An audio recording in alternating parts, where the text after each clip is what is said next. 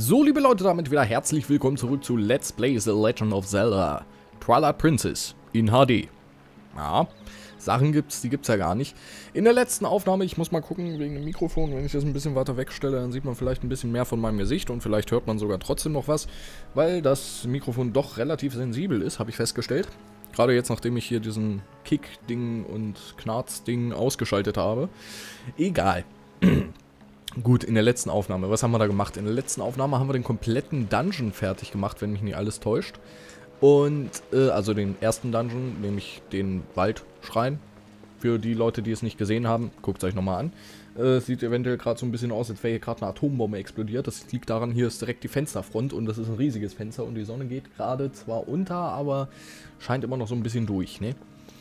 So, ich würde sagen, wir machen uns direkt äh, auf den Weg in das nächste Gebiet, weil hier gibt es, glaube ich, nichts mehr zu tun für uns, wenn mich nicht alles täuscht. Karte. Äh. Ach, hier ist sogar verzeichnet, wo man Epona rufen kann. Das ist ja interessant. Äh, das rote da, was soll das heißen? Übersicht? Ach, es gibt gar nicht irgendwie... Ja, okay. Gut, hier hinten waren wir überall, hoffe ich. Und so, jetzt geht's hier weiter. So, ich bin auf jeden Fall echt mal gespannt. Ich freue mich schon übelst auf die nächsten Gebiete, weil das nächste Gebiet beinhaltet nämlich meinen Lieblingsdungeon. Yay, aber ich glaube, gleich kommt der Postbote und den mag ich nicht. Ja, mein Lieblingsdungeon. Ist der nächste. Der ist toll. Ich liebe den. Auch wenn ich immer... Weil der ist so kompliziert aufgebaut, da bin ich jedes Mal am Rätseln, wie funktioniert das denn? Und deswegen mag ich den. Weil ich irgendwie noch nie, ich glaube, ich habe den noch nie bewusst durchgezockt. Es kann sein, dass ich den das, äh, im letzten Let's Play komplett bewusst äh, durchgespielt habe, weil ich kenne das Spiel ja inzwischen mehr oder weniger in- und auswendig. Aber wie gesagt, der Dungeon ist halt so, wo ich jedes Mal wieder, äh, wo muss ich jetzt lang? Ah, und Kumula eventuell. Ugh. Ja. Naja. Es ist schon, man muss sagen, es ist ein guter Dungeon. Kumula, aber die Musik nervt einfach. Wenn die Musik nicht wäre, wäre das eigentlich ein richtig geiler Dungeon. So, ich kann mir natürlich Epona rufen. Die Frage ist, mache ich das? Ich weiß es nicht. Auf jeden Fall bist du erstmal dran. Ich muss echt erstmal damit zurechtkommen mit der Steuerung über Pro Controller, weil ich kenne Twilight Princess bis jetzt nur von der Wii-Version hier mit ne? rumschwingen und so. Das haben wir hier ja nicht. Oh, sieht schon sehr geil aus. Muss man wirklich zugeben. Vor allem, es läuft schön flüssig. Und das ist ja das Schöne daran. Ich glaube, hier ist ein Herzcontainer, da kommen wir aber noch nicht... Äh, ein Herzteil, da kommen wir aber noch nicht... Der Postbote. Normalerweise freue ich mich ja immer über Post, aber nicht bei dem. Ah, da vorne ist eine schwarze Wand, da geht's nicht weiter. Ah, da muss ich doch einen Brief zu stellen. Und was jetzt? Äh, wer ich bin? Ich bin der wandernde Postbote, stets unterwegs mit wichtigen Briefen. So nennt man mich auch einfach den Briefträger. Aber was rede ich nur von mir selbst? Dabei habe ich doch hier einen Brief für dich. Lies ihn, wenn du mal Zeit hast. Wenn du einen Brief lesen willst, öffne mit Hilfe von runter den Ausrüstungsbildschirm und wähle Briefe. So kannst du die Briefe, die du erhalten hast, jederzeit lesen. Also, das wäre erledigt und ab die Post. Und er rennt natürlich wieder genau in die Richtung des, der schwarzen Wand. Was voll logisch ist. Ich dachte, da kommt er nicht weiter. Das Viech hat uns schon auf eine ziemliche Distanz entdeckt. Muss ich jetzt wirklich mal zugeben. Die sind jetzt übrigens auch relativ einfacher zu erledigen. Vorher mussten wir ja zwei bis drei Hiebe drauf machen, aber jetzt geht es irgendwie schneller, frag mich nicht wieso. Also wir mussten sie ein paar Mal mehr zu Boden schmeißen, aber jetzt nicht. Ah, das ist wirklich Atombombenexplosion, so hell ist das. Aber ich kann nichts dran ändern. Ich habe vorhin schon das Rolle runtergemacht und das ist sehr merkwürdig. Naja. Was denn? Das war ja ganz nah. Was? Erinnerst du dich? Weißt du, was du vor dir hast? Wenn du da reingehst, beginnt wieder eine lange, lange Reise in Wolfsgestalt. Zum Menschen wirst du erst wieder, wenn du das Licht nach Eldin zurückgebracht hast. Also, gehen wir rein in das Gebiet, das der Lichtgeist Eldin beschützen sollte? ja, natürlich. Was anderes bleibt uns ja nicht über. Zumindest nicht, um das Spiel durchzuspielen. Ist so.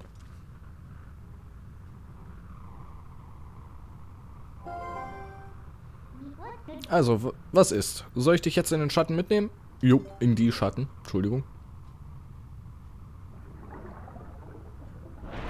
Oh nein! Also da wird man sich wahrscheinlich nie dran gewöhnen. Ah.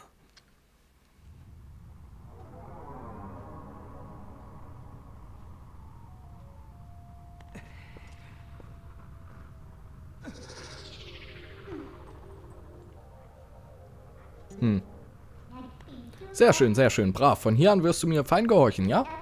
Und sieh doch nur diese Pracht an. Sind die schwarzen Wolke heute nicht wieder wunderschön? Irgendwie fühle ich mich auf dieser Seite wirklich wohler. Und dein Pelz steht dir viel besser als der altmodische Plunder, den du sonst so trägst. Hä? Genug geplaudert. Sollen wir gehen? Äh, ja. Okay. Auf geht's nach Eldin. Ach ja. Moment. Es kommt aber wirklich irgendwie sehr zeitverzögert. Das ist sehr merkwürdig. Na egal. Werden wir uns schon dran gewöhnen. Vielleicht. Wird die Kamera wieder unscharf? Nee. Was ist das denn?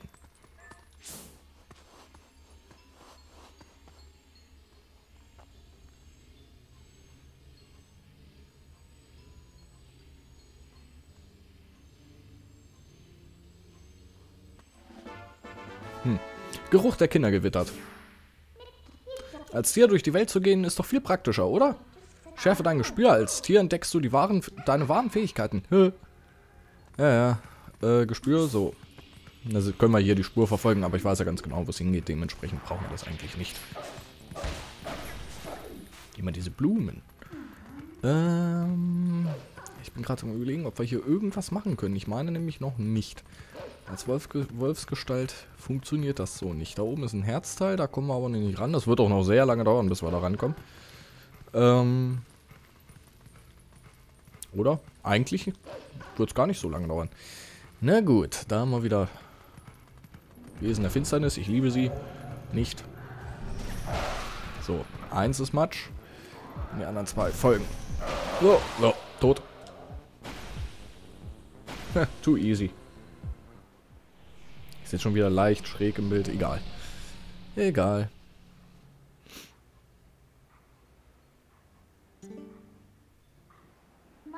Hm, das ist ja seltsam. Hier ist gar keine Brücke. Da ist, ist, ist ja gar keine Brücke da. Ist das etwa das Werk dieser Typen von vorhin? Verflixt, wir haben dir das nur angestellt. Äh, kann man wohl nichts machen, dann müssen wir uns eben eine andere suchen. Zeig doch mal die Karte. Du weißt ja, dass der gelbe Pfeil unsere aktuelle Position anzeigt. Und blablabla, siehst du auch, das sind die Tore, die du geöffnet, die sich geöffnet haben, als du die Wesen der Finsternis getötet hast. Bei uns nennt man sie Portale, merkt ihr das besser? Übrigens, der Wald von eben ist hier, siehst du? Also, wohin mit meiner Kraft... Also, wohin? Mit meiner Kraft bringe ich dich zu jedem Portal deiner Wahl. Hm, da. Da ist nämlich auch die Brücke. Woher das weiß? Keine Ahnung. Ich habe das Spiel schon ein paar Mal durchgespielt. Äh, ich stelle mal ganz kurz die Kamera wieder schärfer. Ich glaube, das hat wirklich irgendwie was damit zu tun, wenn ich aufnehme, dass das... Ich glaube, ich habe es unschärfer gestellt.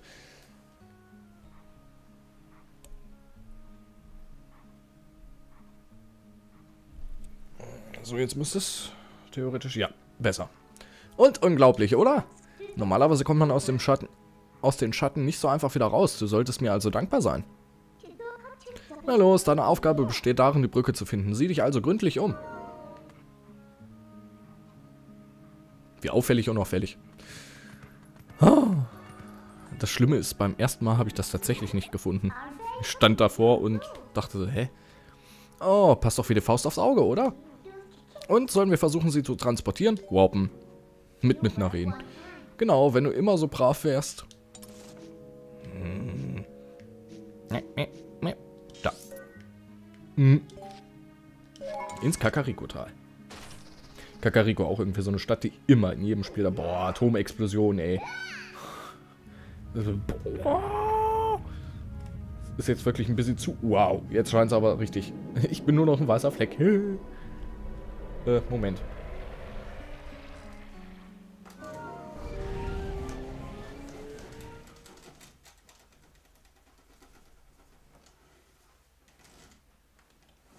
Nein, nicht zu tief.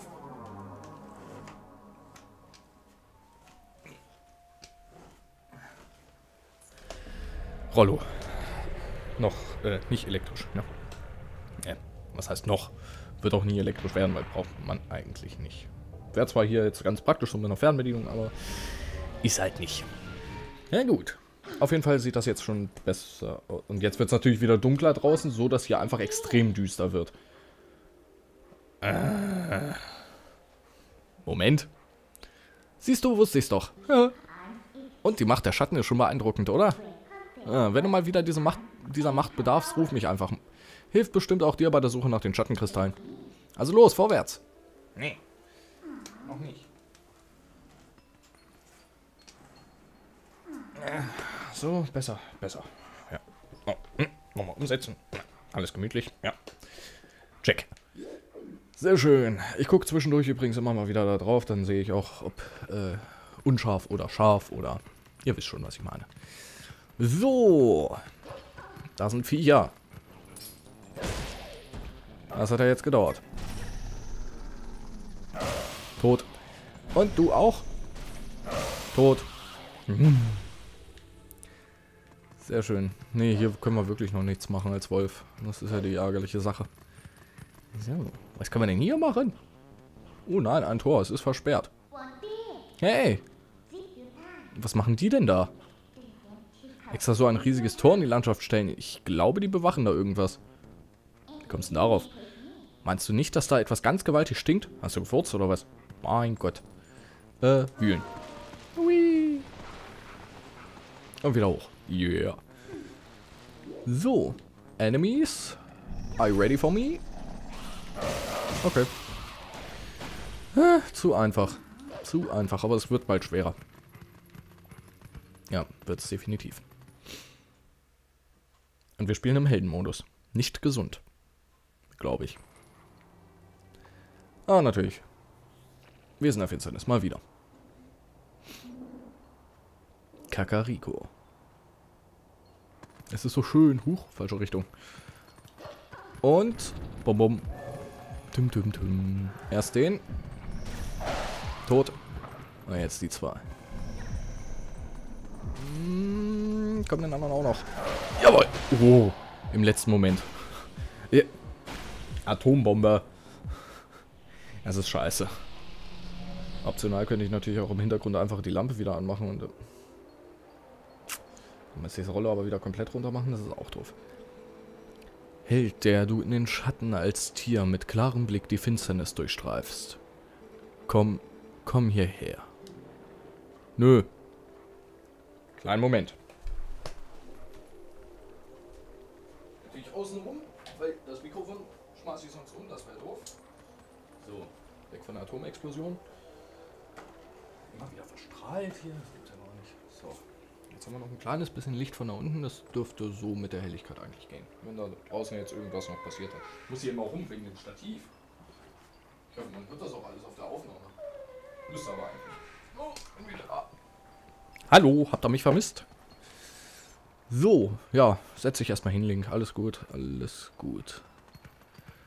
So, erstmal ganz kurz. Ne, wühlen wollte ich nicht gespürt. So ein Mist.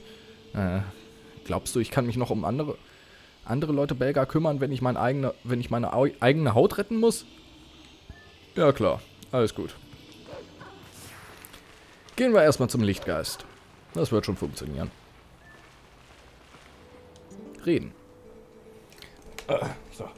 Ich bin ein Lichtgeist. Nein.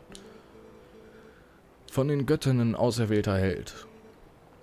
Suche mein Licht, das Licht, das die Wesen der Finsternis mir raubten, fülle es hier hinein. Da, da, da, da. Du erhältst den Tiegel des Lichts, sammel mit ihm den Strahlentau in dem sammel in ihm den Strahlentau, der das Licht in die Welt zurückbringt. Die Schatten werden vertrieben, sobald der Tiegel vollständig mit Strahlentau gefüllt ist. Yay! Verwende dein Gespür, um die finsteren Kreaturen zu finden, die den Strahlentau beherrschen. Mhm. Achte auf Schattenkäfer. Sie sind eine Form des Bösen und hängen an den zerstreuten Tropfen meines Lichtes. In den Schatten ist die Gestalt der Schattenkäfer ebenso wie die der Menschen unsichtbar. Diese Punkt, Punkt, Punkt müssen wir ja auch irgendwie betonen. Mit meiner verbleibenden Kraft zeige ich dir, wo die Schattenkäfer mit meinem Licht sich aufhalten.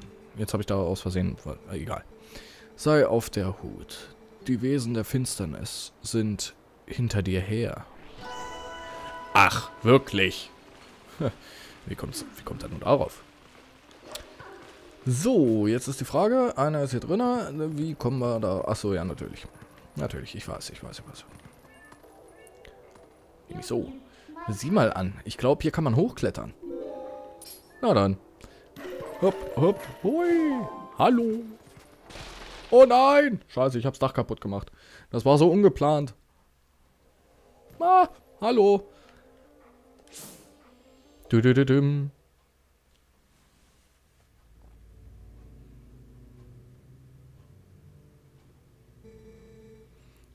Verdammt, wo verstecken sich diese Biester nur? Ich wette, die sitzen da draußen und warten nur auf ihre Beute.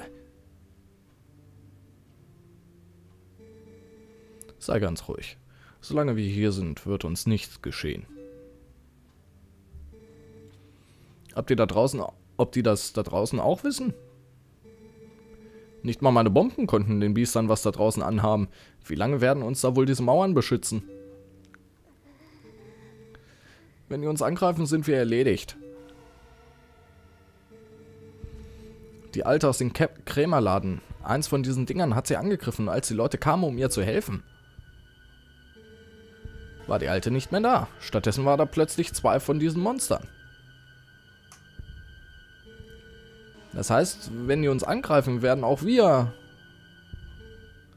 Burns!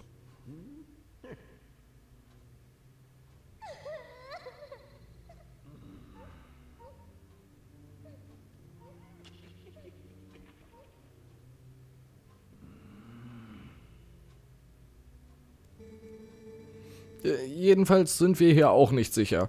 Gibt es nicht irgendwo ein besseres Versteck?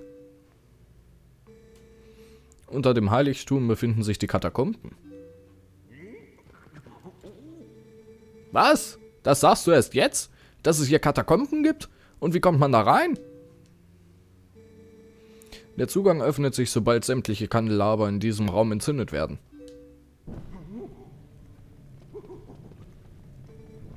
Nein, tu es nicht. Als ich in den Katakomben nachgesehen habe, waren dort die gleichen Insekten wie draußen.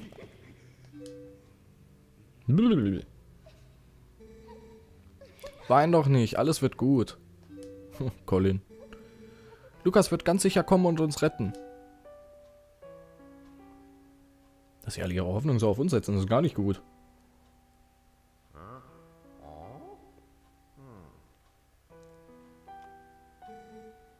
Das spüre ich irgendwie.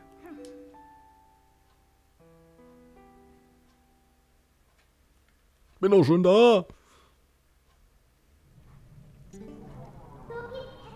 Die glauben daran, dass du kommen und ihnen helfen wirst. Was für brave Kinder. du Armer, stehst direkt vor ihnen und die merken es nicht mal. Nur durch die Kraft des Auserwählten kannst du, in diesen, kannst du in diesen Schatten sein, ohne ein Geist oder gar ein Wesen der Finsternis zu werden.